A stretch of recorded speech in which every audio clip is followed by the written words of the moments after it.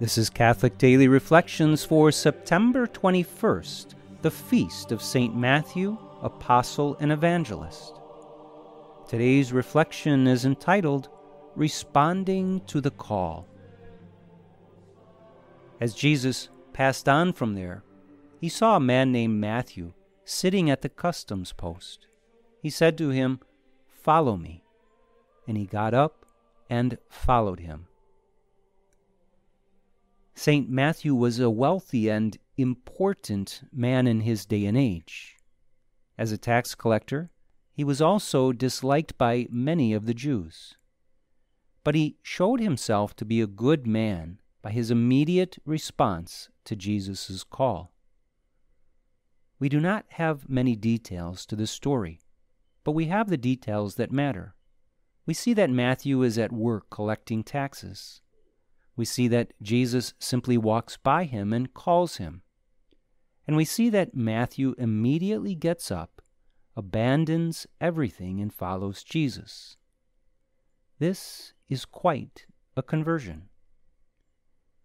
For most people, this sort of immediate response would not happen. Most people would have to first get to know Jesus, be convinced by him, talk to their family and friends, think, ponder, and then decide if following Jesus was a good idea. Most people go through a long rationalizing of God's will before responding to it.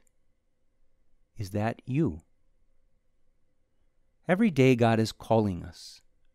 Every day He calls us to serve Him radically and completely in one way or another.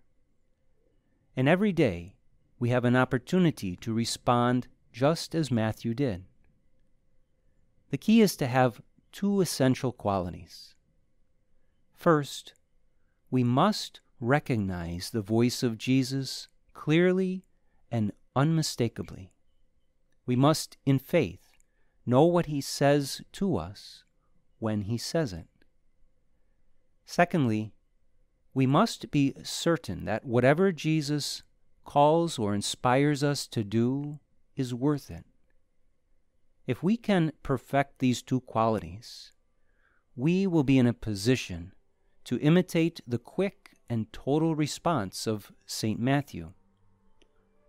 Reflect today upon your willingness to imitate this apostle. What do you say and do when God calls each day?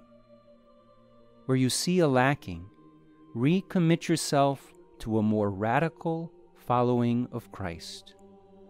You will not regret it. Let us pray.